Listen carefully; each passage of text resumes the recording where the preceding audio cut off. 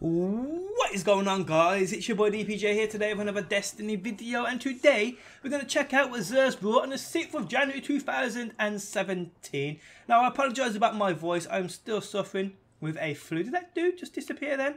Yeah, I'm still suffering with a flu, sore throat, blocked nose, all sorts of bad shit.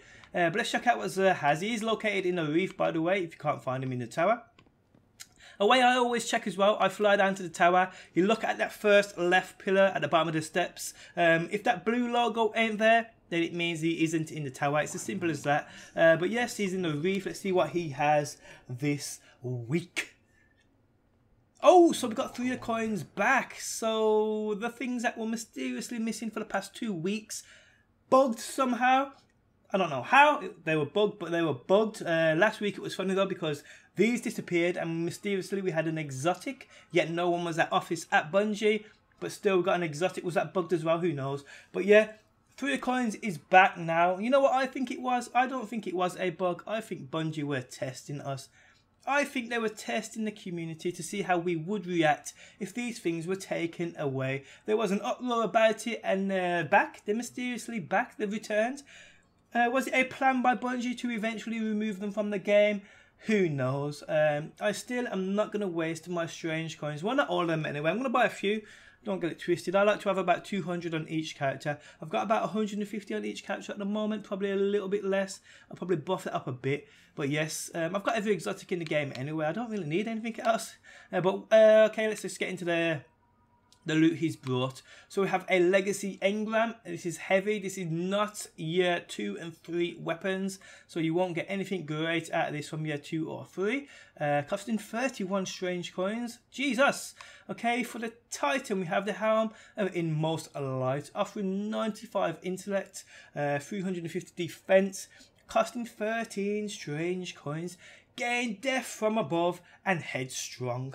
Uh, for the hunter, we have the young Ahamkara's spine gauntlets, 350 defense, 13 strange coins, offering 92 discipline. Increased trip mine grenade duration, gain an additional trip mine grenade charge. For the warlock, we have the light beyond nemesis, also costing 13 strange coins, offering 94 intellect supers generate an extra orb and revive and be revived faster. Okay, weapon of the week, we have the Monte motherfucking Carlo. Actually, a weapon you don't hear most, well, a lot of people talking about. It's actually quite decent for PvP. It's, it, it's, it's actually quite decent. If you don't have this, I suggest spending 23 coins on this motherfucker because it's a beast. Um, and that's basically it. We got heavy ammo synths, uh, costing one strange coins for three or three strange coins for 10 and not bad.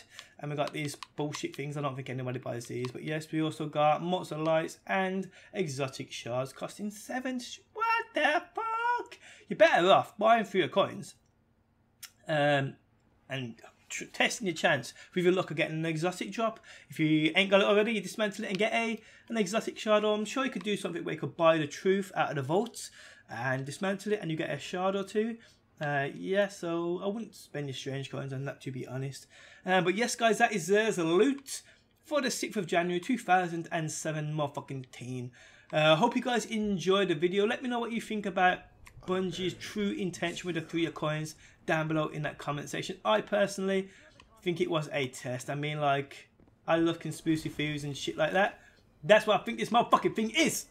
They planned on taking it away. They wanted to test the community by removing them, see how we would react. To be honest, I don't think that many people were pissed off about it. I saw I feel I saw a lot of people were angry about it's the only way of getting exotics easily, which is true. But exotics shouldn't drop easily. Exotics should be exotic, then exotic no more. Legendaries in this game are more exotic than exotics, which don't make sense and shouldn't be the case. Uh, yeah, one grind for exotics was the true well, that feeling when you had an exotic drop, that element of surprise when the exotic dropped is missing from Destiny now. One of the main things that got me addicted to the game in the first place.